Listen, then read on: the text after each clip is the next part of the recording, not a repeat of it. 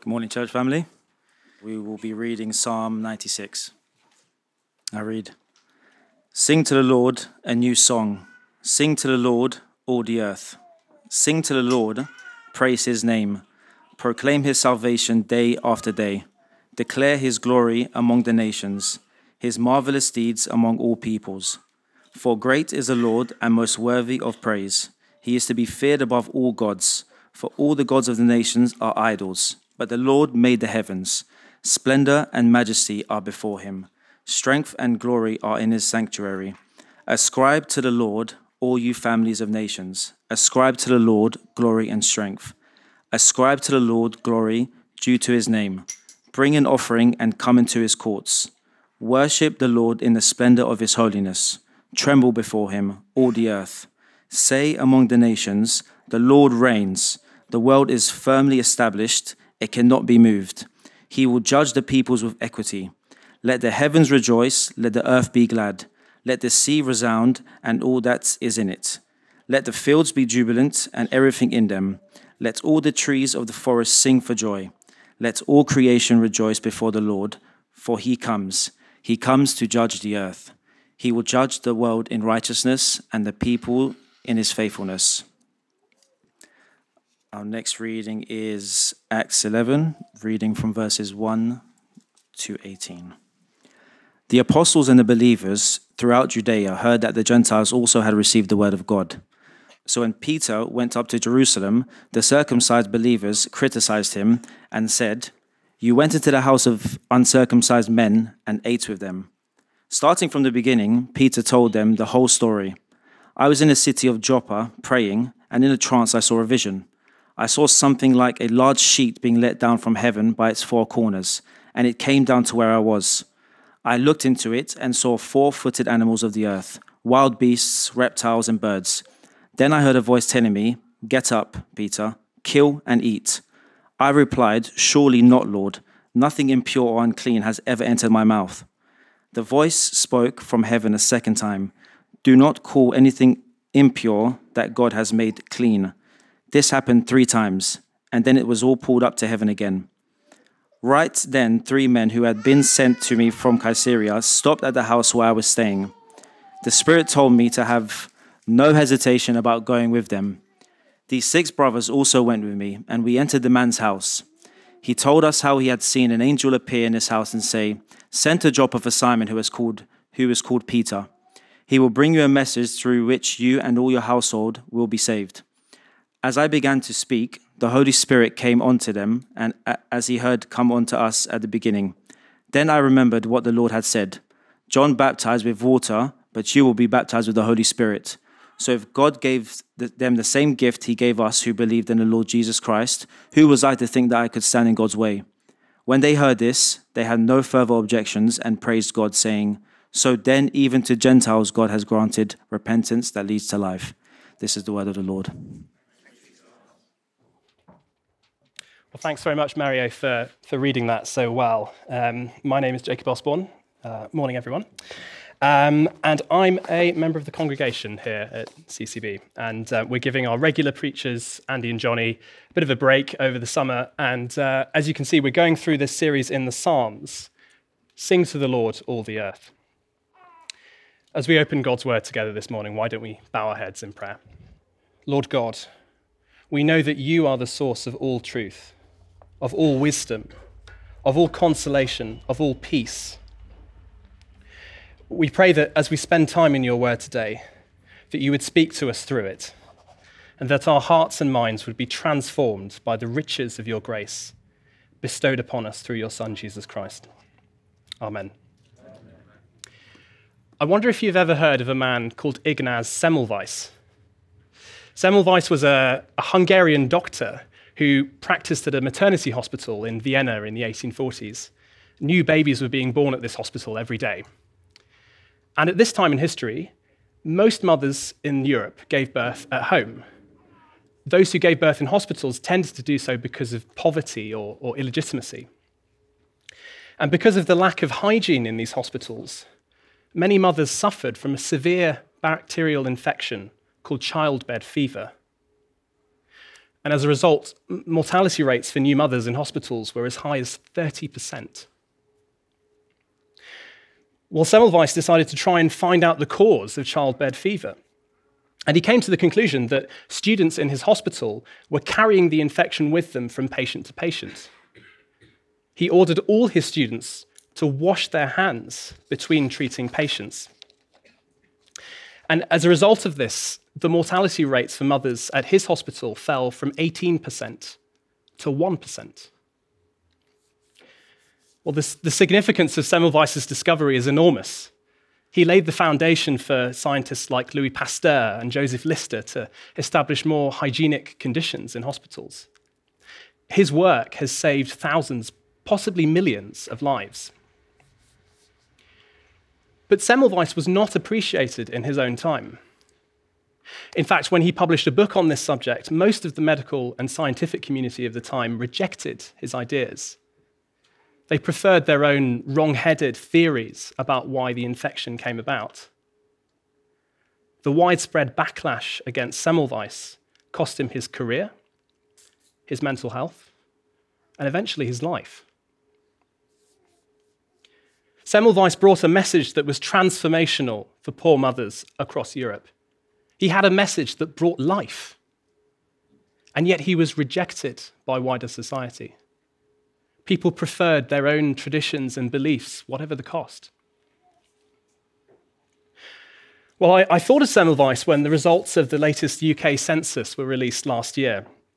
In England and Wales, for the first time in about probably one and a half thousand years, the number of people who reported that they were Christian fell below 50%.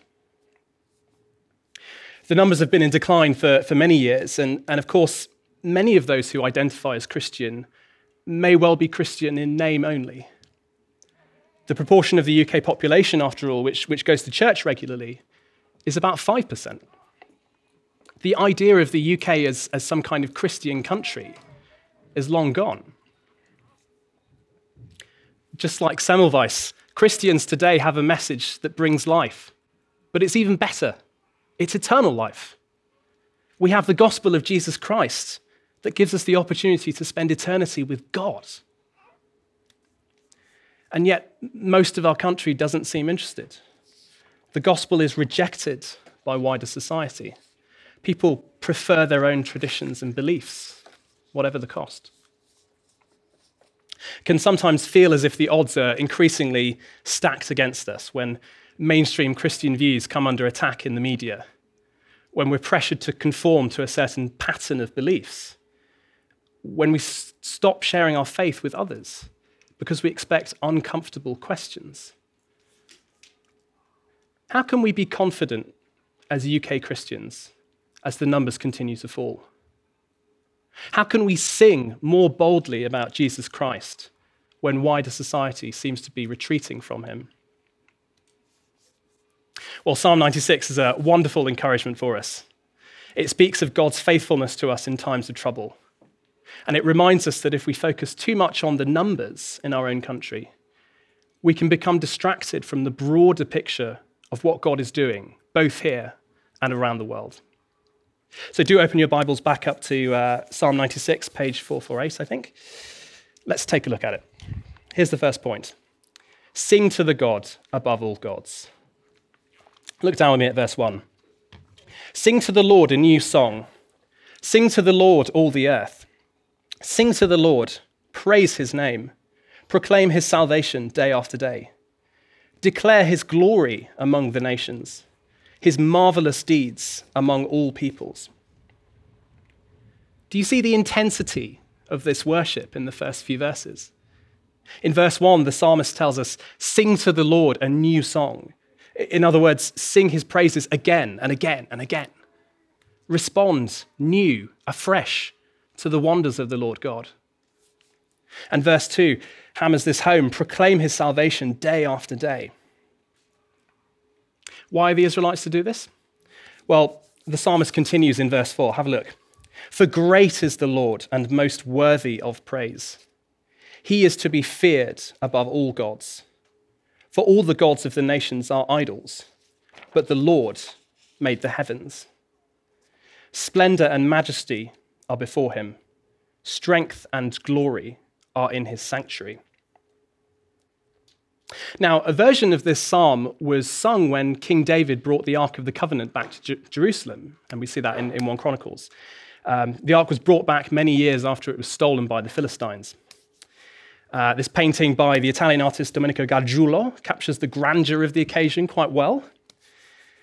The Ark was the most sacred object for the ancient Israelites, and having it stolen by a foreign nation will have been profoundly distressing they will have felt like an embattled minority, surrounded by suspicious or openly hostile people. They will have felt as if the odds were stacked against them. And yet the ark comes home, it returns. And that return is a, a, clear sign of God's salvation for the Israelites, the way he keeps them safe from the enemies that surround them. Look at the, the joyous language in verse 6. God is characterized by splendor and majesty.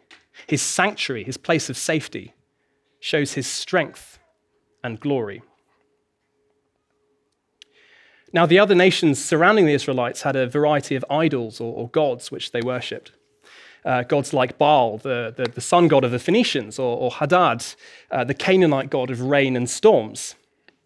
These idols offered everything and delivered nothing. And they're now in museums for us to look at.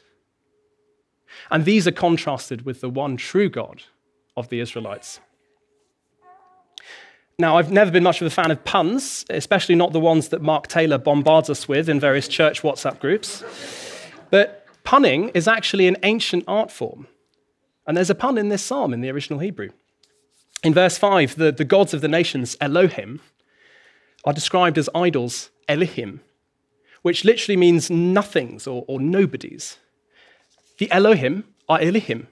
The gods are nothings. The mighty gods are mightily useless. They're ridiculous. They can't protect you. But the Lord made the heavens. Idols lead us on a path to destruction. God leads us on a path to salvation. Well, of course, in, in the modern day, we may not have physical carved idols of other gods on our shelves. But there are many things in our lives which tempt us away from living like Jesus. It, it could be a particular romantic relationship or a, or a career or attaining a certain standard of living. There's nothing wrong with these things in themselves, but if we stake our entire sense of worth or happiness or fulfillment on them, we'll be disappointed. People are flawed, and, and no relationship will be perfect.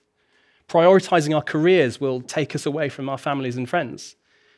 Uh, and however much money or possessions we accumulate, it will never be enough.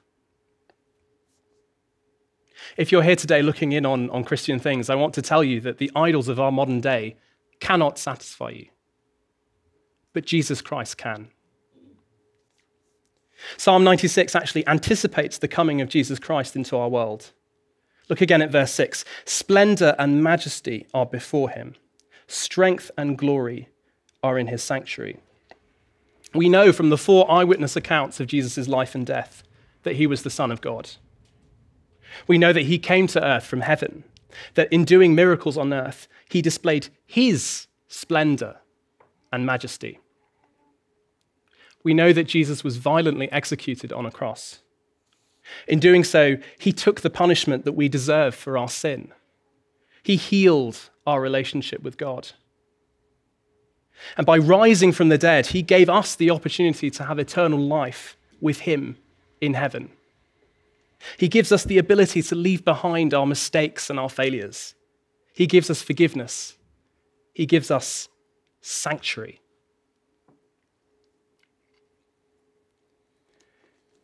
So, how do we respond to this psalm in, in light of Jesus' life and death? We sing to the Lord a new song. We proclaim his salvation day after day. We praise God above all things.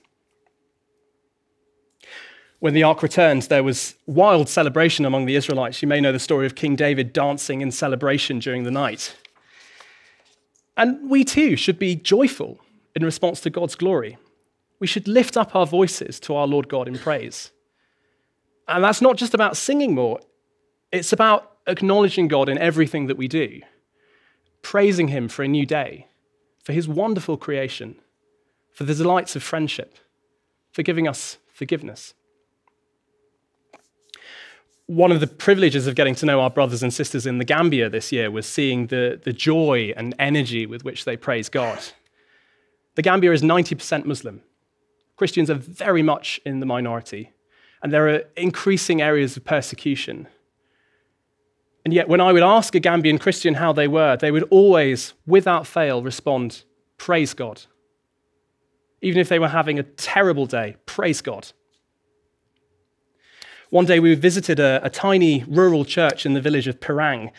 And uh, during the service, an announcement was made from the front that all the adults in church needed to bring a bag of cement to the service the following week. This was so that they could build uh, a small wall around the church compound to prevent wild animals from eating their vegetables. This is not a well off church. And yet it had some of the best and most enthusiastic church music I have ever heard, even with a six year old drummer. It was clear to me that this church is really living out the call to sing to the Lord a new song, even though materially they have far less than we do in Britain.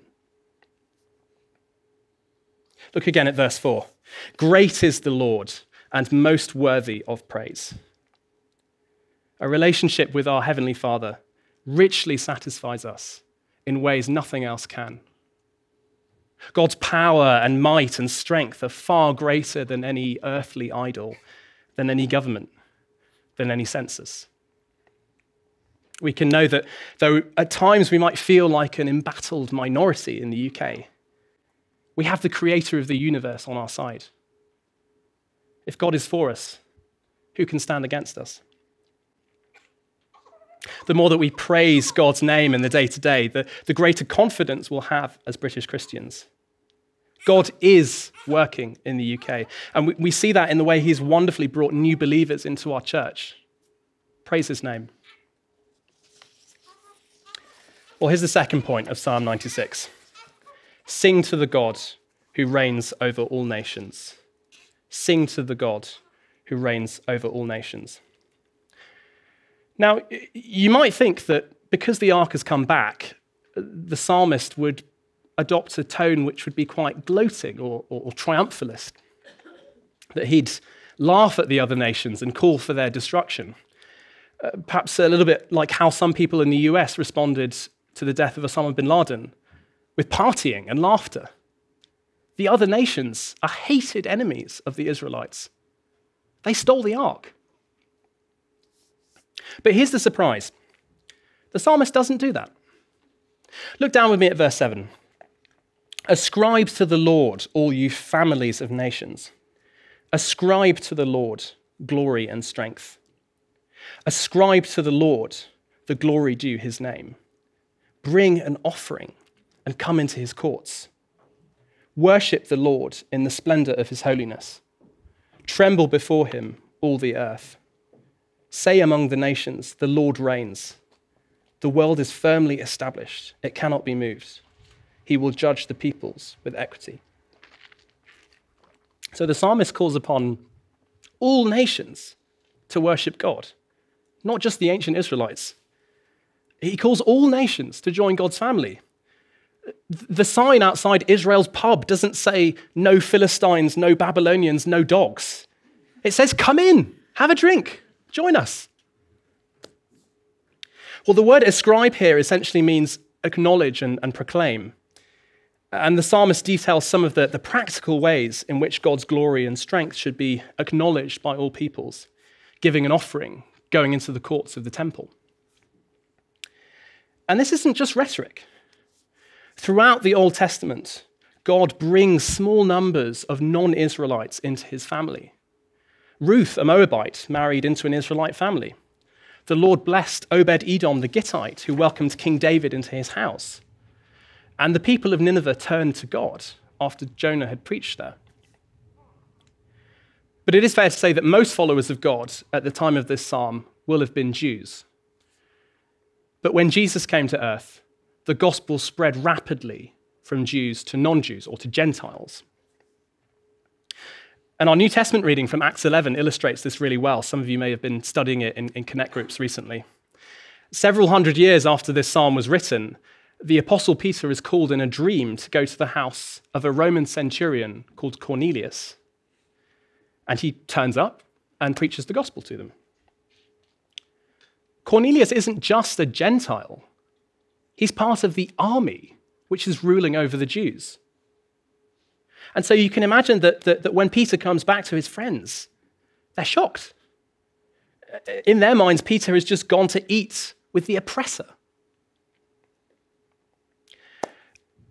And yet, God's love overcomes ethnic difference because he reigns over all people. The coming of Jesus means that salvation is no longer primarily for the Jews, it is for every people group on earth. Peter gives Cornelius the gospel, and, and Peter's friends eventually they realize the truth. They say, So then, even to Gentiles, God has granted repentance that leads to life. Do you see how, how Psalm 96 foreshadows that in verse 10? Say among the nations, the Lord reigns. We're commanded to go out to different people across the world and share with them the good news. But of course, many of our non Christian friends might raise objections to doing this. These days, people are, are more likely, particularly in the West, to believe that, that multiple faiths, multiple perspectives are equally valid.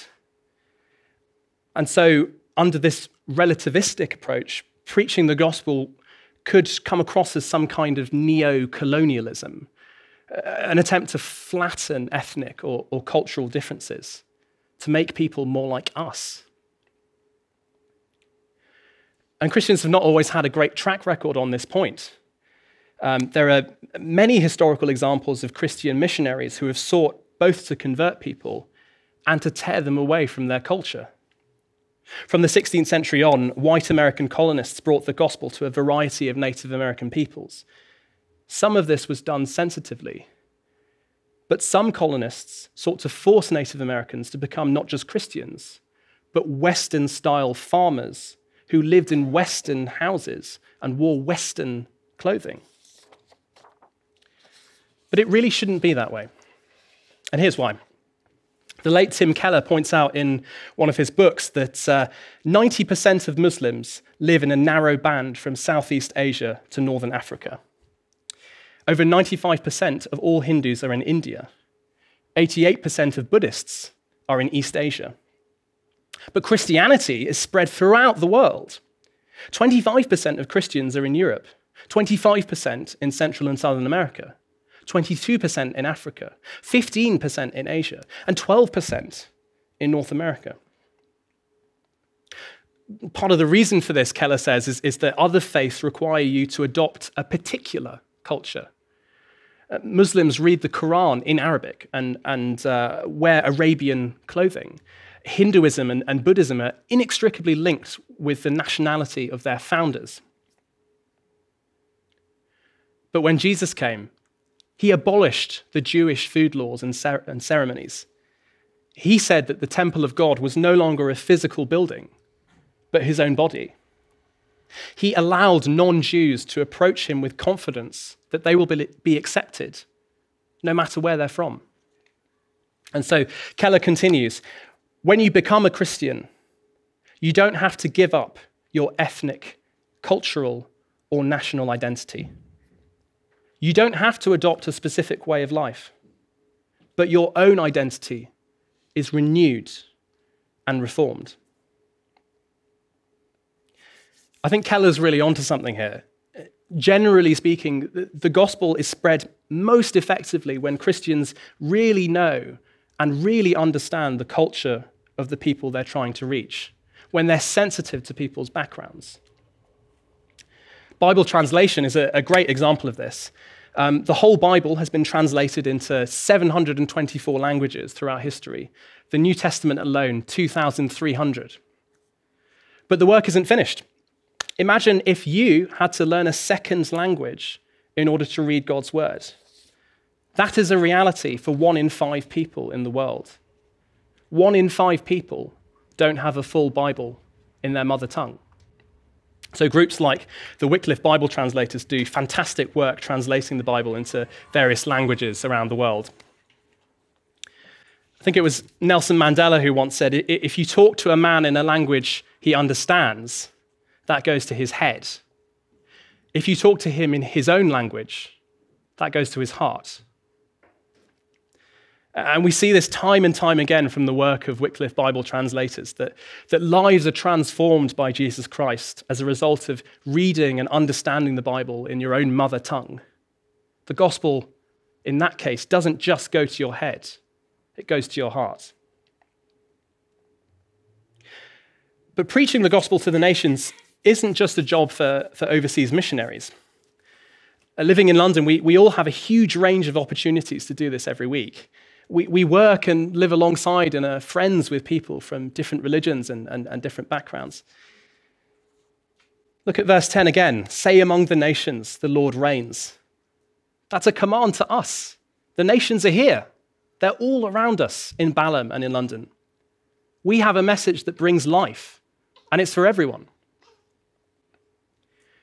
And so when we try and, and, and share our faith with, with people from different backgrounds, we should think ourselves about how we can be sensitive to their culture.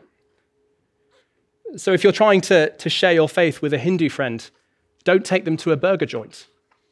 Cows are sacred in Hinduism.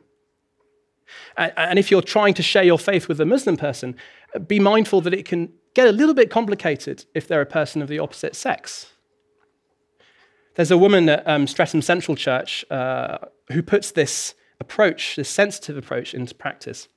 She realized years ago that as a woman, she had a ministry opportunity in seeking to reach Muslim women for Christ. Many of these Muslim women would never imagine or even be allowed to speak one to one with a man who was not their husband. But through this Christian lady at Streatham Central Church, praise God, they are hearing the gospel. The Apostle Paul said this in his uh, first letter to the Corinthians it should be up on the screen behind me. To the Jews, I became like a Jew to win the Jews. To those under the law, I became like one under the law, though I myself am not under the law, so as to win those under the law. To those not having the law, I became like one not having the law, though I am not free from God's law, but am under Christ's law, so as to win those not having the law. To the weak, I became weak to win the weak. I have become all things to all people, so that by all possible means I might save some. I do all this for the sake of the gospel, that I may share in its blessings. The gospel is for all people, friends, because God reigns over all people. But we still need to be sensitive in how we present it. Let's be thinking and, and, and praying in the coming weeks about how we can become ourselves all things to all people right here in Balham. Finally, briefly, here's the, the third point of Psalm 96 Sing to the God who will redeem creation. Sing to the God who will redeem creation. Look down with me at verse 11. Let the heavens rejoice, let the earth be glad, let the sea resound, and all that is in it. Let the fields be jubilant, and everything in them. Let all the trees of the forest sing for joy. What an image that is. The, the psalmist isn't just calling for, for people to pray and to praise God, but the whole of God's creation, including trees and, and, and fields. Why does the psalmist do this? Well, well, look at verse 13. Let all creation rejoice before the Lord, for he comes. He comes to judge the earth. He will judge the world in righteousness and the peoples in his faithfulness. Scripture tells us that, that creation is longing for a redeemer. When God created the world, it was perfect in every way. But because of our sin and our unfaithfulness to God, the world has become a place that is increasingly difficult to live in. Uh, climate change is making it impossible for, for millions of people around the world to live, work, and, and provide for their families. Extreme weather events and, and natural disasters are increasingly common. These are all physical reflections and consequences of our rejection of God. Creation longs for a redeemer. And yet, despite our sin and unfaithfulness, God is faithful to us. Look at verse 13. He will judge the world in righteousness and the peoples in his faithfulness. When the Lord Jesus comes again, creation itself will be redeemed. God's perfect world will be restored. His beautiful, perfect creation will be restored. There'll be no more death or mourning or crying or pain. And when that happens, all of creation will sing God's praises. That image of trees and, and fields singing is an image of God's sovereignty over all things. And as God redeems all things, he will redeem all people who have accepted his message.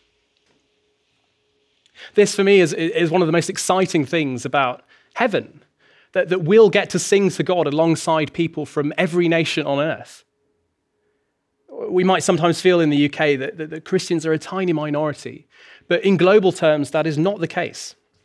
Across Asia, Africa, and, and, and South America, the number of Christians is massively growing, often in spite of severe persecution from governments or other religions. Um, this is a 12 year old um, map. Um, the, the numbers will have changed significantly since that time. And, and having that global perspective can be enormously encouraging. Having Christian brothers and sisters around the world is a, a taste, a foreshadow of God's whole created order being redeemed. Christianity started in one city in the Middle East with a tiny, ragtag, kind of unpromising group of disciples. By God's grace, it is now spread across the planet. And I think we have a, a microcosm of that in our church today. Um, at CCB, we have a range of ethnic backgrounds, of nationalities, of ages, of people who like Eurovision and those who hate it. In all seriousness, where else in modern Britain would you get such a diverse mix of people all together and all sharing in the same thing? Friends, we shouldn't be afraid of the UK not being a Christian country. The church we belong to is bigger than any single country. Our citizenship in heaven gives us a passport to every nation in the world, all worshipping and praising God alongside us. That is something to celebrate. That is something to shout about. That is something to sing God's praises about day after day. And um, if you're looking in on Christian things and you've not yet given your life to Christ, why not do so this morning? Why not use the next song as a, as a prayer to ask God to be ruler of your life? And if you're already a Christian, why not use the next song to recommit to God, to sing Him a new song? Well, we're going to sing in a short moment, but first, let me pray.